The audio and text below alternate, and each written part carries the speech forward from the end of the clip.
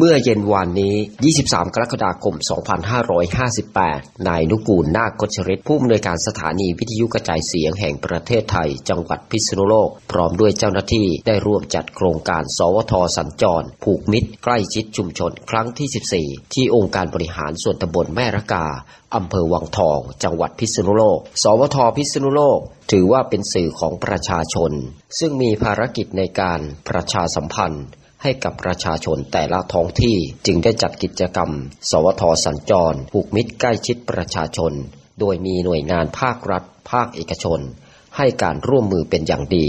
ในครั้งนี้ได้จัดพิธีมอบบ้านเฉลิมพระเกียรติ สมเด็จพระเทพรัตนราชสุดา สยามบรมราชกุมารี ในโอกาสฉลองพระชนมายุครบ 5 รอบ 2 เมษายน 2558 ให้กับนางสุรี เปี้ยสุข อายุ 56 ปี บ้านเล็กที่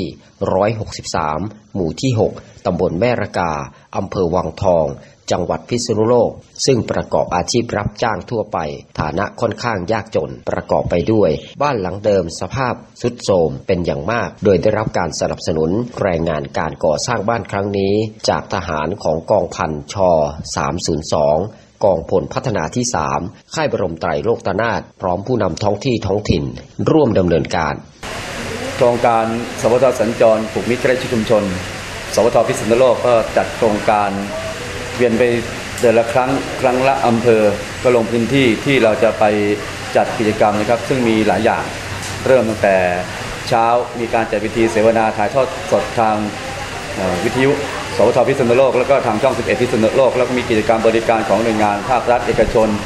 มีฝึกฟุตบอลให้เด็กเยาวชน ในพื้นที่ที่เราไปมาที่แมละกา แล้วก็ได้จัดกิจกรรมฝึกฟุตบอลให้เด็กเยาวชนคนแมละกา และก็ที่สำคัญก็คือการสร้างกิจกรรมสาธารณกุศลให้กับประชาชนในพื้นที่ที่เราสัญจรไป ก็คือการสร้างบ้านเฉลิมพระเกียรติสมเด็จพระเทพรัตนราชสุดาสยามบรมราชกุมารีในโอกาสทรงเจริญพระชนมายุครบ 5 รอบ 60 พรรษา 2 เมษายน 2558 ซึ่งเราก็ได้รับความศรัทธาของประชาชนชาวพิษณุโลกบริจาคเงิน เป็นค่าวัสดุอุปกรณ์ ในการสร้างบ้านแต่ละหลังก็ประมาณแสนต้นๆ แต่หลังนี้ด้วยศรัทธาของประชาชนบริจาคส่วนหนึ่ง มูลค่าในการสร้างบ้าน 94,800 บาท โดยใช้กำลังพลของทหารกองทัพภาคที่3ในแต่ละพื้นที่ที่ประจำตามอำเภอต่างๆสำหรับวังทองก็เป็นจากกองพลพัฒนาที่ 3 ค่ายพระบรมไตรโลกนาถนะครับก็จะเป็นกำลังหลักมีผู้พันโอศักดิ์สิทธิ์นินจันและก็ทางพันตรีสุชาติสักแสพร้อมเจ้าหน้าที่ก็มาร่วมจับชาวบ้านในการสร้างบ้านเฉลิมพระเกียรติจนแล้วเสร็จใช้เวลาประมาณ 10 วัน หรือ 10 วันเศษๆนะก็เป็นโครงการเฉลิมพระเกียรติด้วยศรัทธาของประชาชนที่ทำได้อย่างนี้ไม่ใช่เรื่องง่าย เพราะต้องการมีส่วนร่วมของประชาชนแต่ละภาคส่วน มีทหารมีประชาชนมาร่วมไม้ร่วมมือมา กินข้าวกินปลาทำงานร่วมกันจนสร้างบ้านแล้วเสร็จนะครับ ถ้าจะประมาณการค่าใช้จ่ายก็ไม่ต่ำกว่า2 0 0 0 0 0 บาท เฉพาะบ้านแต่ละหลังที่เราสร้าง ก็ได้กำลังพลของทหารนี่เป็นหลัก แล้วก็ประชาชนในพื้นที่ร่วมกันก็คงจะเป็นกิจกรรมเฉลิมพระเกียรติ ก็จะสัญจรไปอย่างนี้ตลอดไปนะครับ เพราะว่าครั้งนี้เป็นครั้งที่ 14 เราสร้างบ้านเป็นหลังๆเนี่ยว่าก็10หลัง 11 หลังแล้วนะครับ แต่ว่าต่อเติมบ้านเป็นบางส่วนแล้วก็มอบนู่นมอบนี้ ก็เป็นกิจกรรมสาธารณกุศลที่สวทสัญจรเราสัญจรไป มาที่นี่ก็เป็นครั้งที่ 14 แล้วก็มอบบ้านเฉลิมพระเกียรติให้กับคุณสุรีเปี้ยสุข ซึ่งสภาพบ้านหลังเดิมก็คงจะเห็นนะครับว่าสภาพที่อยู่อาศัยไม่มั่นคงแข็งแรง แล้วก็ไม่คุ้มแดดคุ้มฝนไม่มั่นคงปลอดภัยในชีวิต เพราะอยู่ก็ในความยากลำบากก็มาดูแล้วสร้างบ้านให้หลังนี้ด้วยความร่วมมือของประชาชนทุกภาคส่วนนะครับค่ะ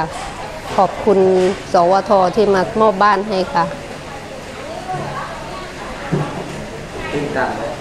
ตื้นตันค่ะ ทีมข่าวพิโลกนิวรายงาน สนับสนุนข่าวโดย Pro a e r o Cinema บริการถ่ายภาพมุมสูง ห้างสรรพสินค้าโรบินสันพิษณุโลก ศูนย์การค้าเซ็นทรัลพาซาพิษณุโลก โรงพยาบาลกรุงเทพพิษณุโลก